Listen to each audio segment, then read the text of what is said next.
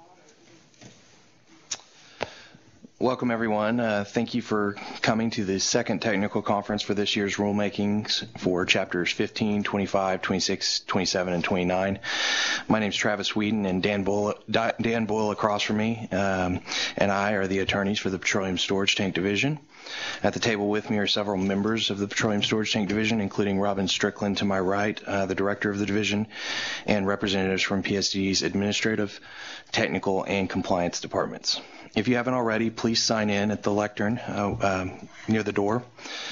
There are no copies of the revised proposed rules uh, printed today, but they will be shown on the screens uh, if you didn't bring your own copies. Also, the rules are available online at the Commission's website, www.occeweb.com. Under the tab for conducting business, click on Proposed Rules. After today, there will be a public hearing for the commissioners to consider and hopefully vote to adopt the revised proposed rules on Tuesday, December 10th, a week from today, at 9:30 a.m. And that hearing will be here as well in courtroom 301. Uh, we encourage you to join us for that hearing as well. Uh, Commissioner Murphy is with us today. Uh, we'll note that this is a regular meeting and notice was posted at 10:30 a.m. on November 26th. Uh, Commissioner Murphy, is there anything you'd like to add before we begin discussing the revised proposed rules?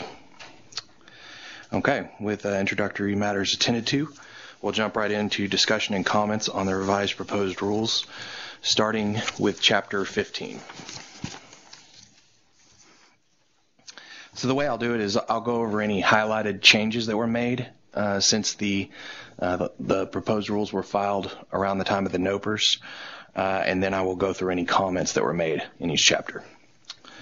There has been one change uh, since the NOPRs and proposed rules were filed, and it is highlighted on page one of the revised proposed rules sent out by Gov Delivery.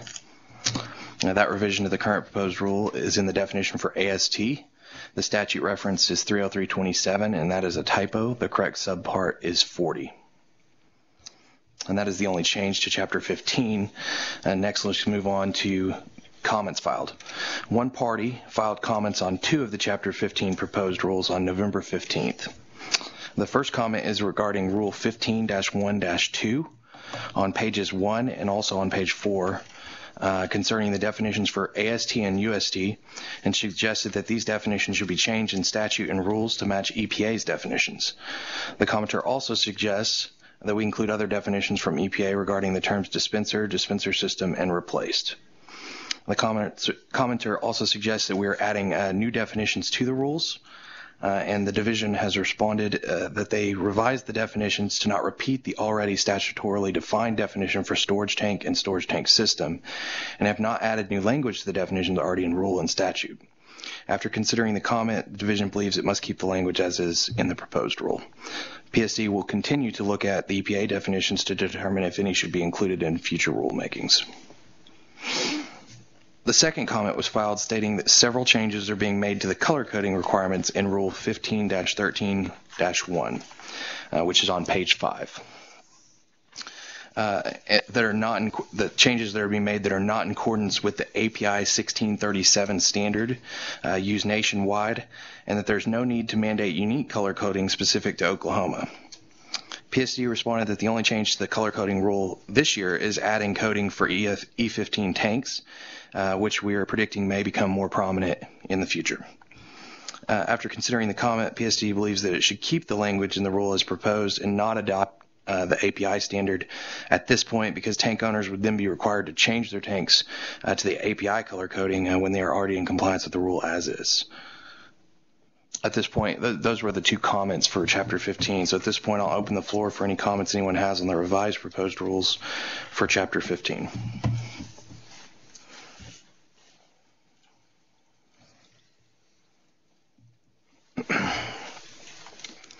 Uh, hearing none, let's move on.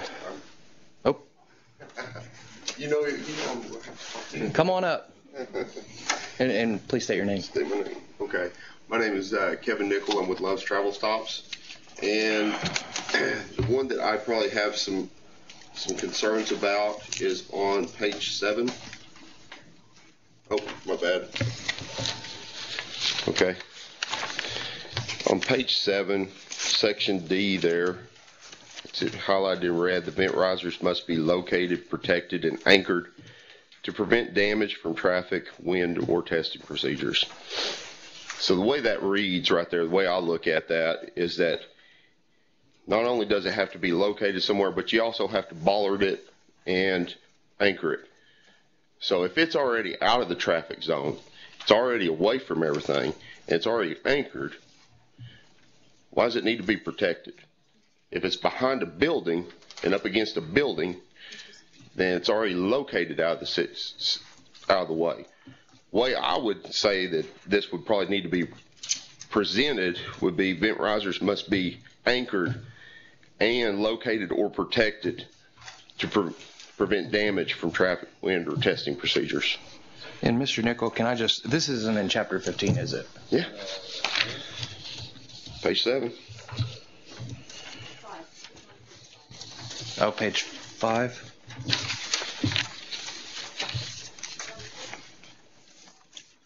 I have the color coding requirements on page five. Oh, my bad. Maybe may be on the Uh, wrong one. What what number rule is it? It should say Chapter 15 here, and then it's uh, 25-2-55. Yeah. Am I in the wrong place? It's, it's in chapter 25. My bad. And I'll- and it's okay. I will. said up here cha- chapter 15, so I was like, oh, okay, so I'm here. I think you probably are looking at either response to comments or to zip Yeah. comments, and they're all in one They're document. all in one document. But I'm just going chapter by chapter. My bad. But uh, we can discuss that one right now if you'd like. That'd be Uh, great. I'm already up here. Well, I know that with the so that, is that the collision barrier rule or the vent pipe? The vent piping requirement. the vent piping requirement. Yes, sir. Yeah. Let's see if I can find that. Okay, so that was our fifth comment on chapter 25. Is that rule 25-2-55.2 Yes, sir.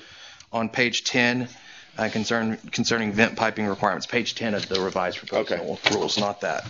Um, what we said to that was, the commenter suggested uh, proposed changes should not apply to existing tank systems as the relocation or installation of bollards may have a cost impact on some owners. The commenter suggested that bollards be replaced and added if steel riser is knocked over by a vehicle. eh, In addition to also your comments, Mr. Nickel, but uh, PSC responded to those comments, uh, the written comments, that this is added language is not it's not a new requirement this year. It's already adopted in the rules. It's an industry standard from PEI and the API. That that language but it's in not in PEI. We have the. I don't believe it says it just like that because the way that states is that I'm, I'm having to locate it and protect it and anchor it. I have that it's in PEI 110 12 and API 1615 13.3.3. So if I But I know with what you're talking about like the back of the building, I think Justin didn't didn't you guys uh, speak about this? Yeah, I answered this question for another person who brought this up. Okay.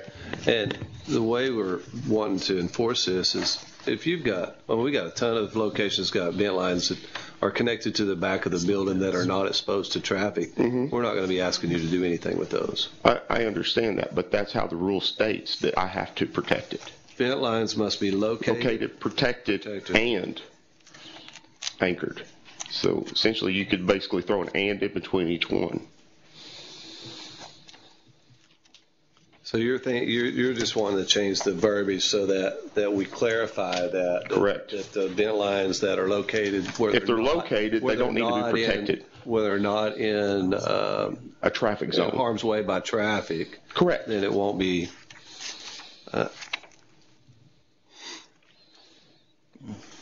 So would you be suggesting that if you put the word or instead of and, would that work? I would say you would flip it around and you would say that, that you would, Located or everything has to be anchored. located or protected and anchored. Yeah, but you could start off by just saying it's anchored and or protected, uh, located or, or protected.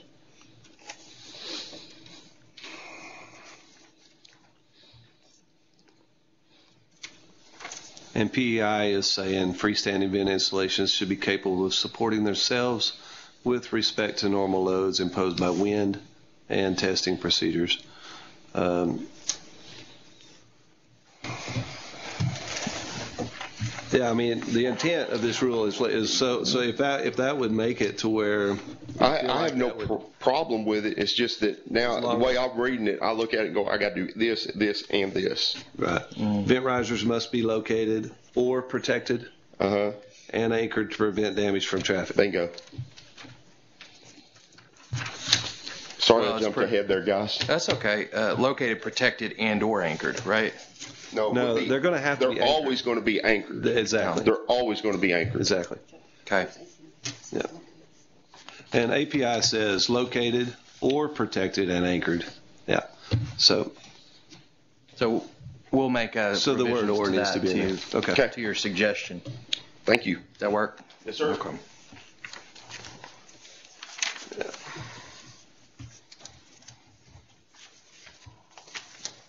Thank you, Mr. Nickel. Any other comments on chapter 15?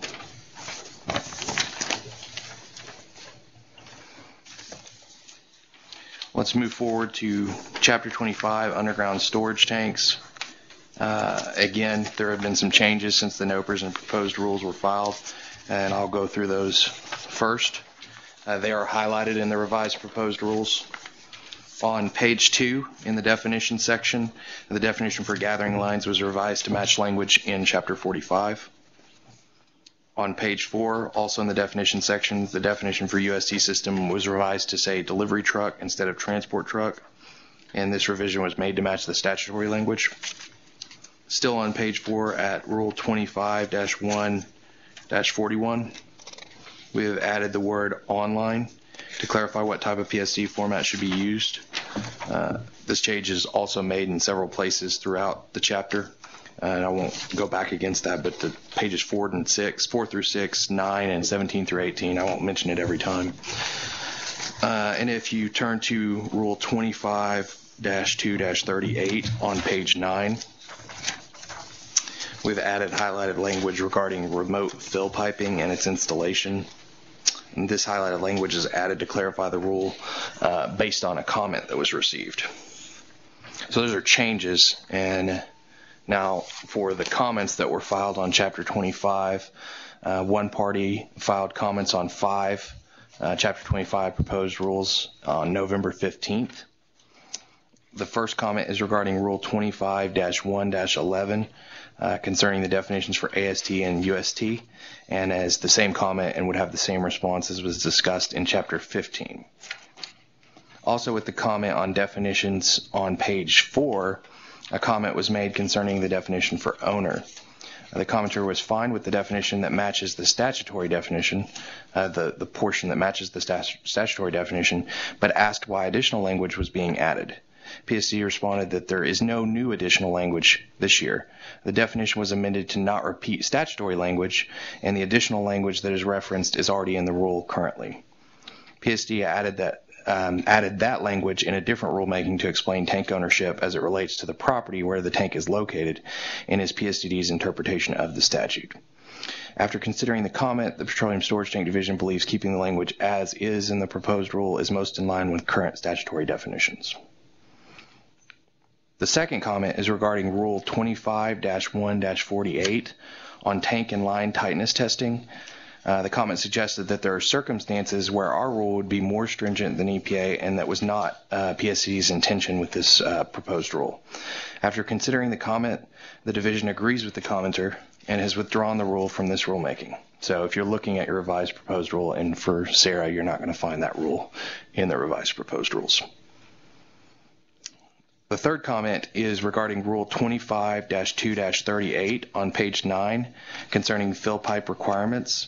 Uh, the commenter requested an opportunity to discuss the proposed change with staff, and PSC staff, uh, Justin Langford, spoke with the commenter, and, and the added highlighted language was a result of the discussion. Uh, we believe commenter's concerns have been addressed there. The fourth comment is regarding Rule 25-2-55.1 uh, on repairs to UST piping materials. Uh, the commentator suggests that there are discrepancies between the EPA requirements and the rule as it was proposed. And after considering the comment, the division agrees with the comment and has withdrawn the rule from this rulemaking so it can be further studied. And again, rule is not in the revised proposed rules because we have withdrawn it. And then the fifth comment was the vent piping requirements that we uh, went ahead and addressed for Mr. Nickel. So those were the, the comments for Chapter 25 and PSD response.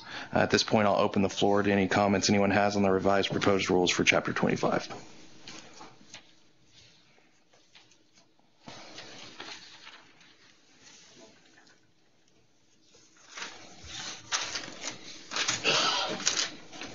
Let's move forward. Uh, hearing none, let's move forward to Chapter 26 above ground storage tanks. And again, there have been some changes since the NOPRs and proposed rules were, fi- were filed, and I'll go through those first. Uh, they are highlighted on the screens above in the revised proposed rules. And on page one in the definition section, uh, the definition for AST system was revised to say delivery truck instead of transport truck. And that revision was made to match the statutory language uh, similar to uh, definitions in 25. On page five, at Rule 26-1-41, we have added the word online to clarify what type of PSD format should be used. And again, this is uh, making changes consistent with uh, Chapter 25 as well. On page 8, at Rule 26-2-5.1, uh, we've made changes to the highlighted dates uh, since the revised proposed rules were filed. So what you're seeing there on the screen of July 15, 2000 is not going to be uh, what we've updated since then. So we made a change more recently than that. Uh, based on comments that were received, we're leaving the October 13, 2018 date in Part D of the rule. And we have changed the date in Part C to say before October 13, 2018. We made this change based on comment to ensure we aren't adding any more costs to tank owners with regard to overfill protection. In Appendix G, the field citation table on page 13, um, the word table was misspelled and it is uh, in the header there, and it has been the correction has been made there. So those were changes since the uh, proposed rules were filed, uh, and should be in the revised proposed rules. Also, uh, one party filed comments on five of the Chapter 26 proposed rules on November 15th. Uh, the first comment is regarding Rule 26-1-2 uh, concerning the definition for change in service. The commenter stated that change in service concept in federal regulations allows changing from a regulated substance to a non-regulated substance and wants our rules to allow this as well. PSD responded that our revision to the change in service definition was solely grammatical to add the word or and is not intended to be substantive change. After considering the comment, the PSD b- believes keeping the language as is in the revised proposed rule is important for the protection of the environment. Also in the definitions, the same comment was made about the definition of AST that was previously discussed in chapters 15 and 25 and would also have the same response. The second comment in regarding uh, is regarding Rule 26-1-48 on tank and line tightness testing. This is the same comment as was discussed in Chapter 25 and has the same response in that PSD has withdrawn the rule from this rulemaking for further study of the rule and any consequences that may come from changing it. So again, the rule is no longer in your revised proposed rule. The third comment is regarding Rule 26-2-5.1 on page 8 concerning overfill prevention requirements. Uh, the and this is, is this what I discussed before in the changes, but the commenter suggested that changing the effective date to July 1st, 2007 in Part D would have a cost impact on some owners. PSD responded and agreed uh, with commenter and has decided to leave the date the same in Part D. However, there is still a need for the date in Part C to be consistent with Part D, and so that date has also been changed to state before October 13th, 2018. The fourth comment is regarding Rule 26-2-7 on collision barriers. Uh, the commenter does not want the added language to apply to existing tank systems, uh, stating it would cost owners to remove barriers and install them correctly by this rule. PSD responded that this language uh, is being added is an industry standard already adopted into the rules, and we are adding the language to make the rule more uh, easily accessible for owners. After considering the comment, PSD believes keeping the language as is in the proposed rule um, because it's already adopted into rules uh, through the industry standard. Travis, can I ask you on that? Does that mean that if you've already got it a different way, are you grandfathered in with that, or they're all going to have to change it to meet this? Are we going to give them a time, or what does that mean based on the comment? With the collision barriers? Well, current, I mean, currently, what we're adding into the rule right now is already this, what they would need to meet, and it has been since the standard was adopted. Okay, so I So- can't tell if the commenter is making the point that the contractor, if some were installed that did not meet that as described, that means they would have been in violation of the rule just from the beginning, right? Yeah. Okay, so do we know if there's very many of those, or do we know? Justin, what are you seeing out in the field? Well, I mean, I don't have an exact number on that by, by any means. Um, like I say, the rules have been, Sure. they should be enforced up to this point. This shouldn't affect very many people. Okay, but I'm, I'm just asking, so if we find those, are we just, are we working with them to give them some time to, even though we know what the rule should have been in place, but I'm also mindful of just what's going on in general with the economy and conditions Absolutely. overall. As far as time to work Right. with them, yes, absolutely. Okay, all right, thank you. And the fifth and final comment in Chapter 26 is regarding Rule 26-2-55 on repairs to underground piping materials. Uh, This is the same comment as was discussed in Chapter 25 and has the same response in that PSD has withdrawn the rule from the rulemaking for further study of the rule and the consequences from changing it. So you will no longer find that rule in your revised proposed rules. At this point, I'll open up the floor for any comments on the revised proposed rules for Chapter 26.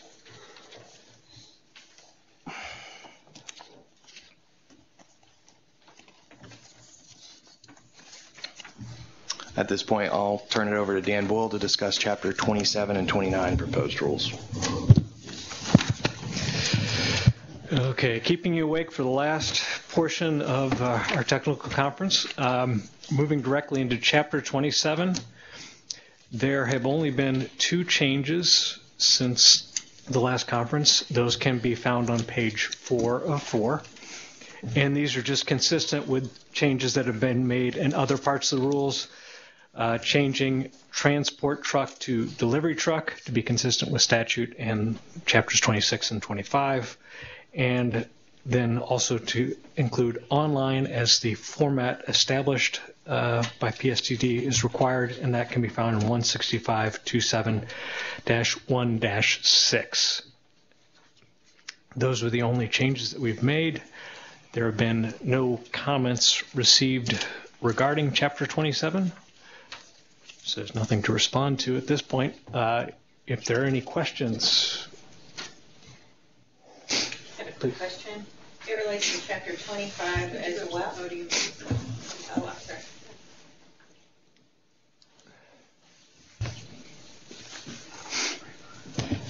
My name is Sheila Baber. I'm with Stantec. And I have a question that also relates to chapter 25, but it's not dealing with the proposed changes. But I just wanted to bring it up because there has been some confusion discussed around our office recently about the definition of owner. And at the end of that definition, uh, what it says right now is a real property owner who has a storage tank system located on their property that was taken out of service prior to November 8, 1984 is not considered to be a storage tank owner for any PSTD regulated purpose. And I suggest we might want to add, however, when tanks are closed or removed, all regulatory requirements would apply. To clarify that, because I don't see clarification in any other part of the rule or definition. So that's my only comment. Thank you. Thank you.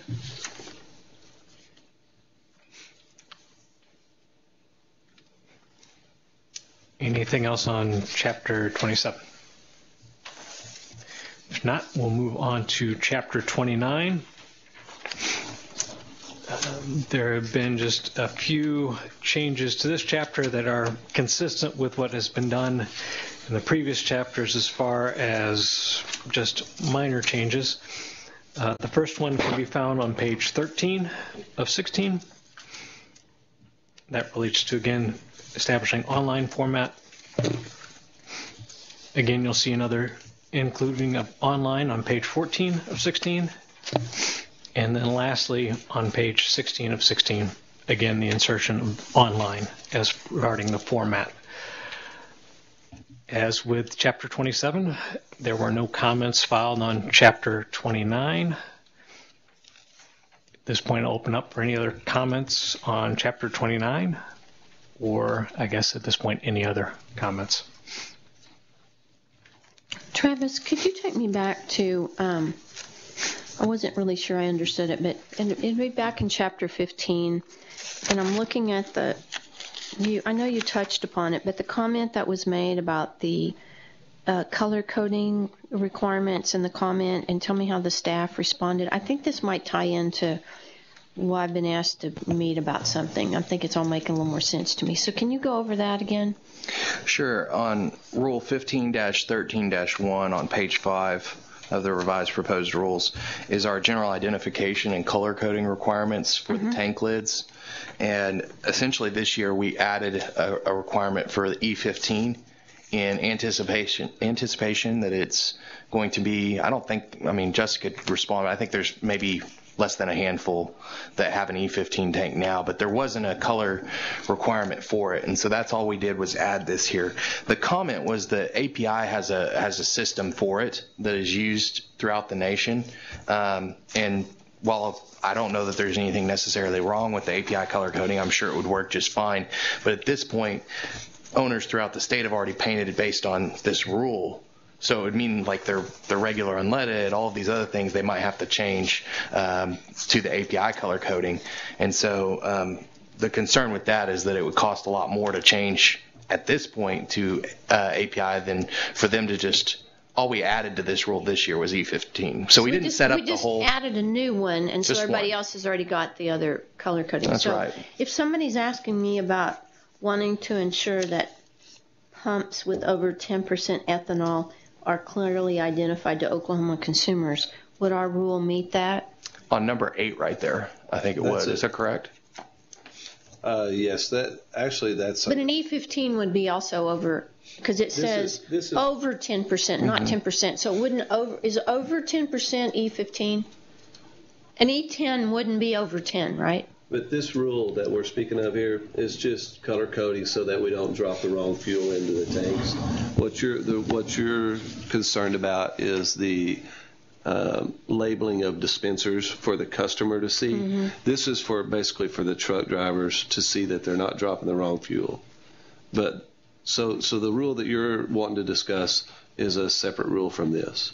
And- I didn't say I wanted to. I'm saying people are calling me about it. That's what I'm saying. Okay, so It's not like I picked out this topic. Right. Let's But have a the- okay, the- discussion. the, rule that you're you're that okay, it's it's under dispenser labeling, not this is on the tank la- tank fuel Okay. lid labeling. It's not a part of the pr- proposed rulemaking this year. But it- but it, just in general, if somebody's talking about fuel that's over 10% ethanol, that would necessarily be E15, right? If it's E10, it's not over 10%, right? We require labeling that says up to 10% ethanol um, on our labeling. And to give you the specifics on that rule, I would have to get, grab that rule and look at it for you. Sure, but you're either an E E10, E15 means you're over 10 but under 15, up to 15. Is that what that means? Yes. Yes. It's kind of ranges, is what I'm asking. Is that right? Well, You're trying to give them the maximum number of what it could be? Yes, our labeling on the dispensers, most generally what, what our labeling requires is that if you're selling ethanol, that it has to be labeled on there up to 10% ethanol. Okay. And then um, we haven't discussed, I don't think it says anything about E15 on there yet. On, on our, on, in On our rules. consumers? Right. Okay, so why are we doing it for where the trucks drop it off, but we wouldn't do it for the consumer?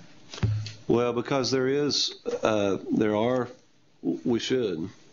I mean, there should be, it should be addressed, but it's just not in rule. It's not being, that rule's not open that I know of. I mean, I understand that, but it seems like I don't, why, I, I just don't understand why we wouldn't do corresponding things. I mean, maybe there's a reason for that, because I'm sure, I'm assuming the petroleum marketer folks have a little different opinion than the refiner folks.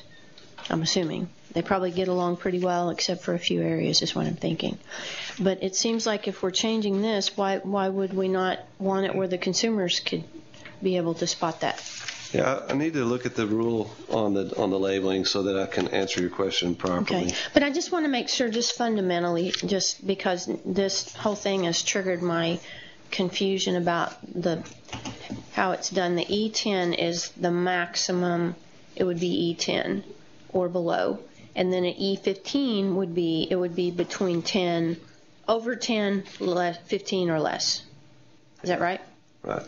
Okay. So it could be a 12, it could be a 13, but I'm assuming vehicles are just rated for whether they can take in the E E15. Right. Anything over 10% requires a vehicle that would be what they call flex fuel Okay. that could take the up to 85% ethanol. Okay. Because I think I learned something. I was thinking that E15 meant that it is E15, not that it could be 12 or 13 or 14. I didn't really understand that. So I guess I've learned something today. Yeah. And if it's a 10, what's the range to get it up to a 10? Is it a 5 to a less than 10 or what's how do you get to a 10? I Well, mean, that's what's the reason our labeling does on, on E10 or less. If it has any ethanol in it, then the labeling that we require is up to 10% ethanol. So if I had any, if there was any ethanol in the gas, whether it was 10% or not, it has to have E10. It has to say up to 10%. But the label would be E E10. The labeling on your dispenser would say up to 10%. So it could be 5% or it could be up to 10% for a maximum. If it goes over 10%, then it would have to be labeled um, differently. It'd have Up to the 15. It would then say flex fuel 85 uh, E85. Okay. That's one, you know, I, I think this is important for the trucks to know where to dispense things, but it seems like it's important for the customer to know how to fill up. Right. And that seems like it Most of our customers are concerned, am I buying 100% gasoline? right. And and if it is, um, um, or am I or am I buying product with ethanol in it? And so if you're if you're uh, advertising 100% gasoline, then it has to be 100% gasoline. But if you've got any ethanol in it, up to 10%, it will say it, the labeling has to be there to say contains up to 10% ethanol. But if I had a vehicle that was only rated for up to E10 and I put E15 in it, what happens? Yeah, it will. It's we got to have the, it's late. It's got it can't be more than ten percent. But I'm gonna have, like I said, I need, really need to look at that rule and show you and and discuss that with you. Okay, so right. I think this just triggered my thoughts about it when I looked at this and the comment and then that, and so it all just kind of congealed after we I've had time to kind of mm-hmm. think about it. So it just made me wonder if it's important to know where the truck drops the product, so it's going, it's got a color to make sure that the consumers using the right dispenser for its fuel. Okay. I agree. Okay. Thank you for your patience and me trying to understand this. I, I think I learned a little more than I knew before. Thank And you. I'll I'll get the rule and and and go over it with you. Okay, great. Thank you. Thank you, Commissioner Murphy. Um, any other comments? Hi, I'm Terry Roberts with Oklahoma Environmental Services, and it's my understanding, right, that there are no more written comments accepted after this point, right? Those were due the 15th of November? That's correct. Okay, thank you. All right, well then verbally, I'll just, um, I do want to uh, uh, mention a couple of general, make a couple of general statements.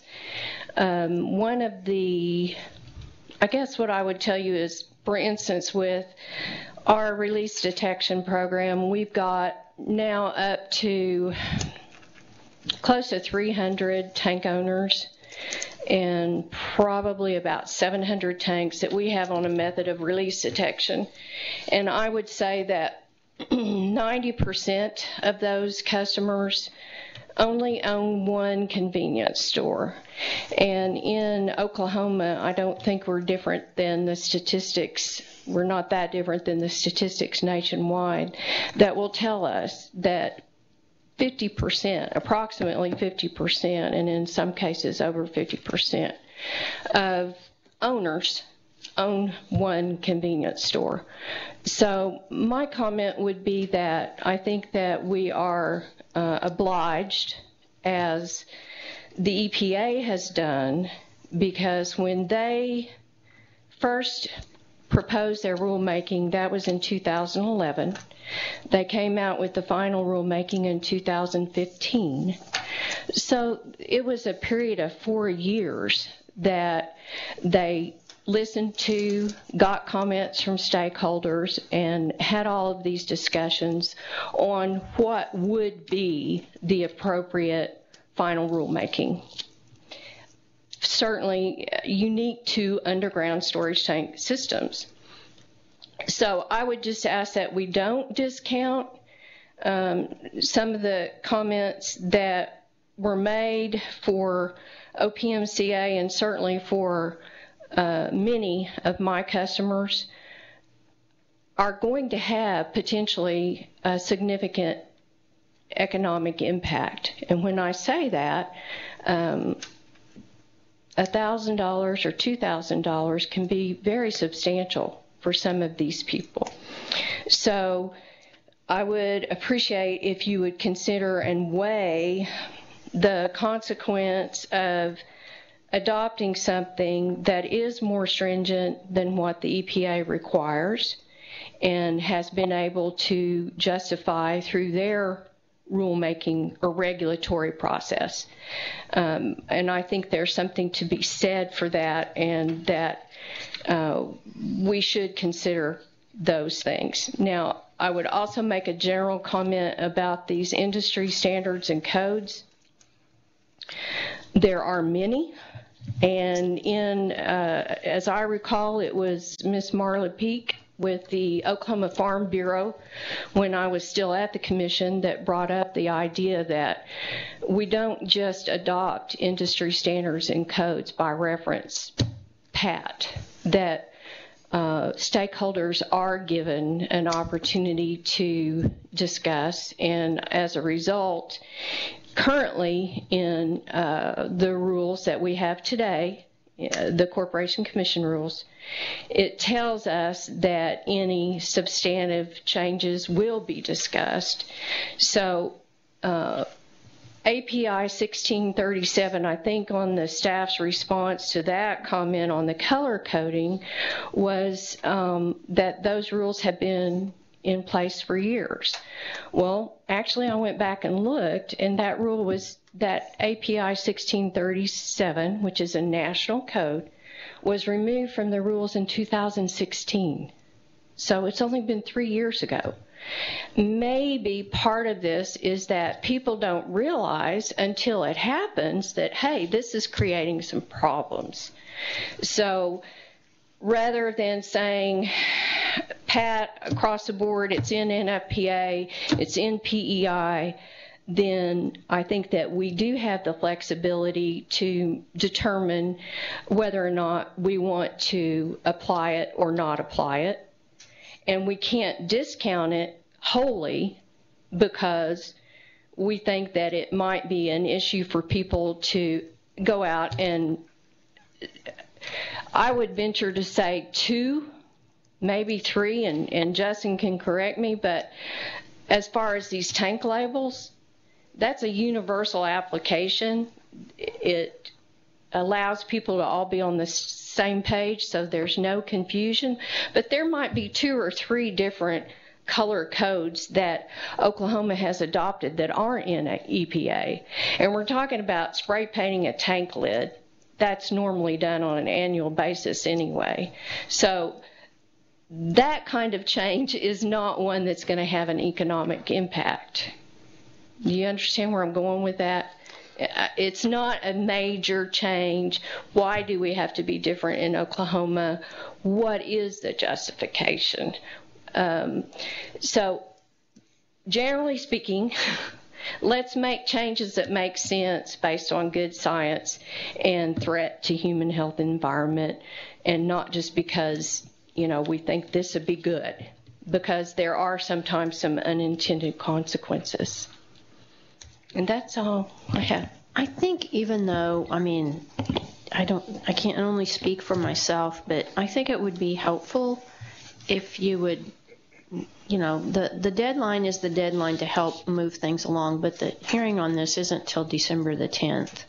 So I would suggest that you put it in writing for the benefit of all the offices so that they can see what you're saying. So if you were just to kind of give it, in looking at the comments, tell me specifically what you would be recommending be done. It's like wait on this or do something different. Help me understand exactly what it is you're wanting. Mm-hmm.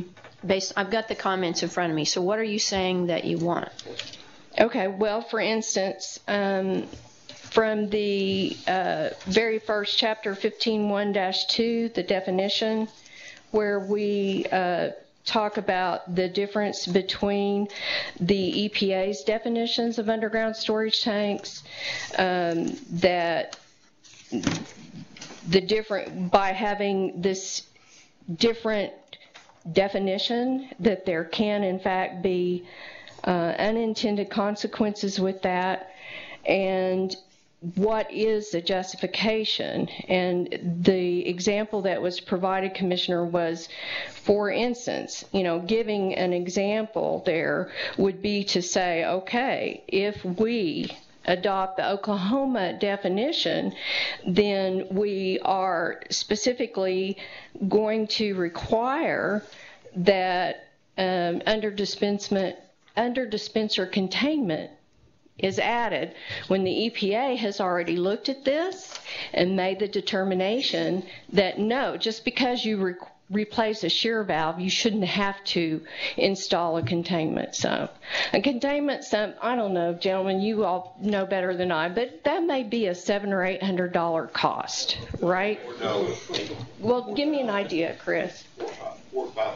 Okay, so what I'm, I'm saying by that, Commissioner, is that by changing our definition in Oklahoma different from the EPA's uh, definition that has already been vetted and the it, those examples are provided in the comments, then we add these additional costs for what might be a simple $100, $200 repair is now going to be a significant repair. Is is the that helps me a lot. Is the overall takeaway from your comments is that regardless of what the stack council voted on or whatever, that if there is movement to make the rules more strict than EPA rules, that there should be more discussion before it goes forward. Is that the main gist of what you're asking for?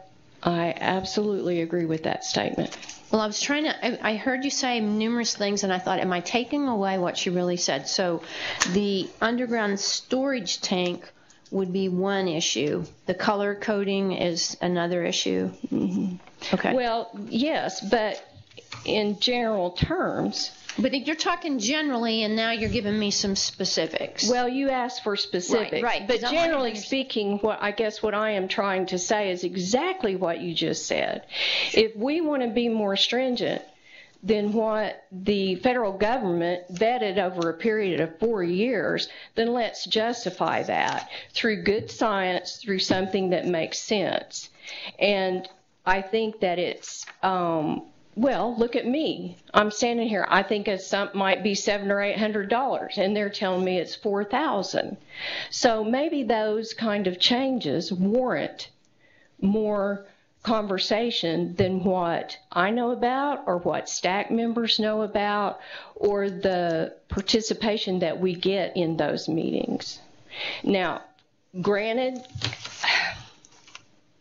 it's on the tank owner to show up and be here and talk about what's important to them.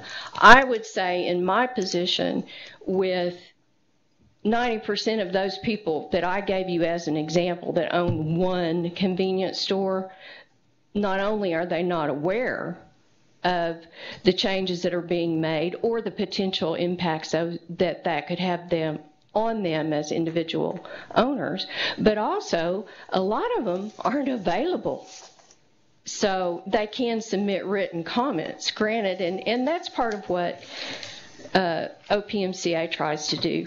Is, Do you, you know, do you are, do you think most of these owners are they um, they get the postcards and are they do you all recommend that they sign up for Gov delivery? no, I have not made that recommendation.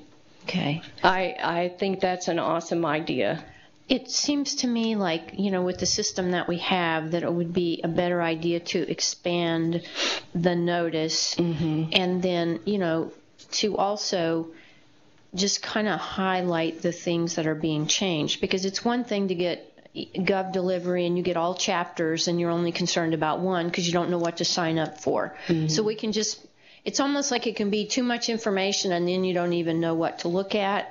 So it almost seems like they might want some guidance on what to sign up for because I know we've helped some pipeline people just from my office mm-hmm. kind of give them some guidance on mm-hmm. what to sign up for so they don't get all of these things they don't need. So you're here on behalf of Oklahoma Environmental Services in our capacity as far as the customers that we serve. Okay, and then you're supporting the comments on the two items that you've mentioned that have been filed by the Petroleum Marketers Association. I would support all of those comments that were made.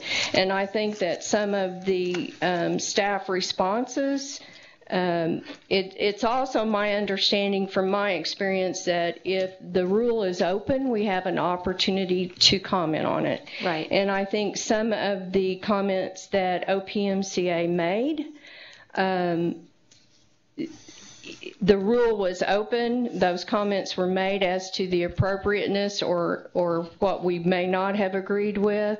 And the staff response was simply that that's not part of what we were proposing to change. So I don't think that really addresses the issue at hand. So would one suggestion be that maybe on these issues that you've raised is maybe there could be just another meeting, maybe a meeting with some of your, some of your clients or some of the petroleum marketer folks and the staff ahead of the December 10th meeting? Because it, it's, it's really hard when these things come up and it comes up close to the, to, for me anyway, the other commissioners can speak for themselves.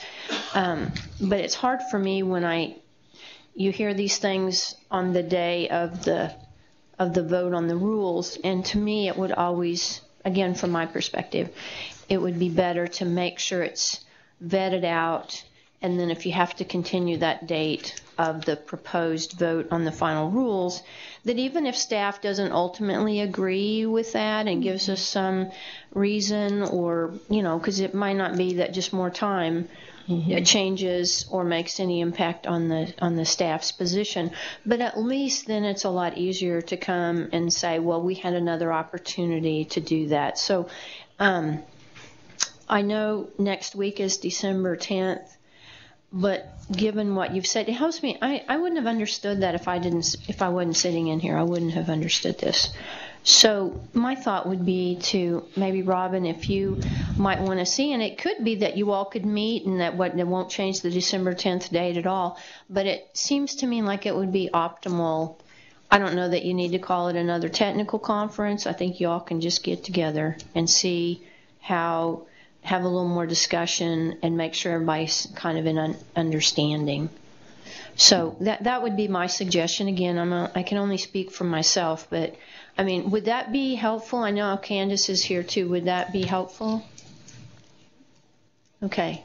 So it, it seems like I guess that would be my suggestion is that there be another meeting, and I don't think it has to be framed as a posted technical conference. I think you all can just get together. So, Robin, whoever you think is appropriate, that'd be my suggestion. It looks like there's agreement from people that are here that they would like that. are those just the, are those the two rules for this issue, or you were just giving me two examples and there's more?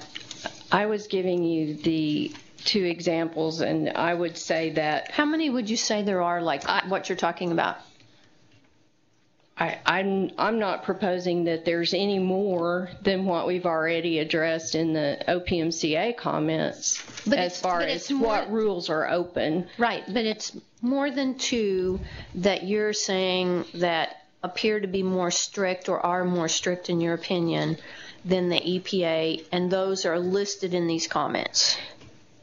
That now, that statement I can't agree with. I think that we have many rules that we have adopted that are more stringent than the EPA that I would question um, the But you're just talking about, you know, the, the, the way I see it, you can only start where you are. Right, You can't go back and right. really fix things. So to me, I'm just looking at where are we, and and I was just trying to understand the comments made today for the rules that are open today. You gave two examples. Are there any more examples in all of these comments more than those two? I can't answer that question without going through these, but the comments that we provided for, um, through OPMCA address several other issues that are more stringent than EPA besides uh, tank labeling, um, the issue that, you know, just as I'm standing here looking at it, the tank and line test uh, that fails, they withdrew that. That was one that was more stringent. Um, I am not familiar and um, You, you've answered my question, Terry. Okay. So I, I get it. I was just trying to understand. There was a lot of comments, and I was just trying to understand if there was more than two of those. That's all I was trying to. And, and you don't know, so I appreciate you telling me that. Thank you. Commissioner, we do have um, eight rules where we're more stringent than EPA, and those were submitted to EPA prior to our state program approval. Okay, so are you saying that the ones that are more stringent than EPA, that that was one of the reasons that EPA gave us the accreditation because we did that? Or you're saying that that's part of our anchor for getting it, or what are you saying? No, we just had to identify those so they are aware, and they still Okay. approved our program. Okay, so our approval of our program wasn't contingent on being more strict, right? But it was just a part of it. Okay, I understand that. Okay. So, um, I, I think if it's just important if you all have another discussion and, you know, I think you, you all, Have, I mean, I got to commend the staff. I mean, I, I know, Robin, you made a lot of effort to have meetings and get input. And I really, I'm very appreciative of that. So, you know, certainly no criticism on my end, but if there's still some issues remaining, and the whole point of rules is to have discussion to me and, and to see what you can agree on. And then sometimes you can't agree and we have to make a decision, but I'd just like to know that you made the effort to see if there's, if there's something that can be done, just being very cognizant of, um, based on what we're seeing, I, I just I think some times are going to get tougher for a lot of petroleum marketers, in addition to oil and gas and other people. I, it's it's here. I've mentioned it for numerous months. Things were going to be challenged, and they're revealing themselves now. So I think it'll have a trickle down effect. So I I think if the staff will, I think if you all just try to meet with them and see if you can reach any agreements. But I think it would be helpful, Terry, if you would put your specifics in writing so that we could see them, that would be helpful.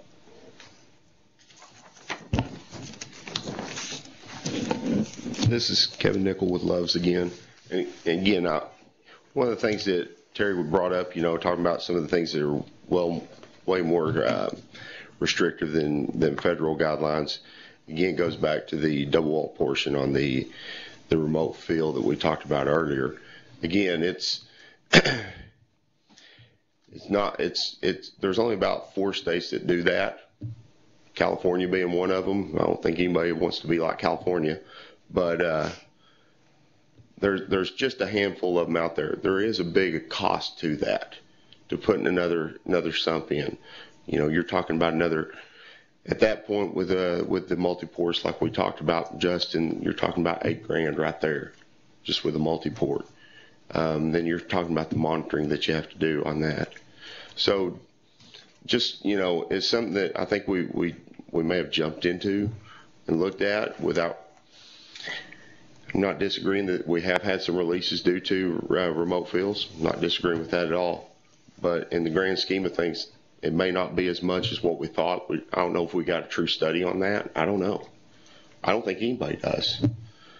Um, but just just you know letting y'all know that, that that will come with a big price tag So, So is that, so that's along with, um, along the lines of what Terry was speaking about? absolutely. So do you think it would be helpful to just have another meeting with the staff? I, I don't know if it, it, you know, personally, I mean, I just, want- I was just hoping that people would, would have, you know, look, you know, have that in mind whenever they're putting these rules together, going, hey, how big of an impact is this really going to ha- ha- help?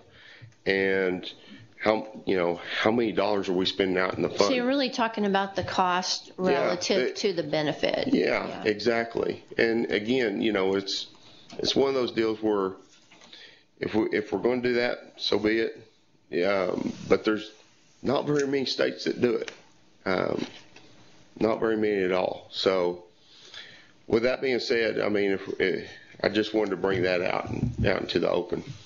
I think it would be helpful, again, if you might meet with um, Justin or the Okay. staff, because I, I don't know what the, I don't, I don't think, I don't know, and I'm, probably the other commissioners don't know what the data is related to the, uh, the spills or, or leakage or whatever occurred, and what, I mean, what we're trying to, unless you come and speak to us, I mean, like this. Yes, ma'am. And speak, we, I, you know, I wouldn't know this, so that helps me understand the cost of what it would, because you, because if you're Love's or you're a major chain, you're going to have a lot of those to put in, right? Mm-hmm. Well, any, any site that we retrofit in with that, mm-hmm. or any new site that we build, would most likely have one. Okay. So, you know, that ups our cost again. You know, that's it is it is part of business, but at the same time, it's you know, it's one of the one of the few states that require it. So, Okay. I, Okay. I, I appreciate you speaking uh, Okay. today. Thank you. thank you. Any other comments? And uh, we will um, be in touch after this meeting uh, to try to set up a time to meet this week um, with anyone that's interested. And I'd like to thank everyone for coming out. Next meeting concerning these rules, next official meeting will be the public hearing on Tuesday, December 10th at 9:30. And uh, we hope you'll come out for that as well. And I Thank just want to thank the staff for uh, taking some extra time to meet with the people who also took the time to come here today and speak up. So I, I think the uh, nice job on moving through the rules, but if we need to take a little more time, I'm not saying we need to change the December 10th date, but um, that's just a day. And sometimes those, we've got plenty of time. So if you all need more time, take more time. If not, go with what we've got. Thank you. Thank you.